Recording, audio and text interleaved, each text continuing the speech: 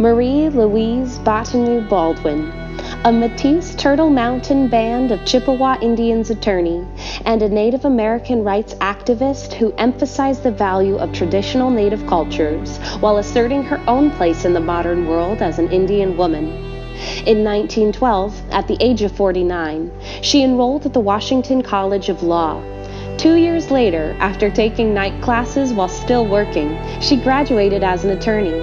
Marie was the first woman of color to graduate from the school.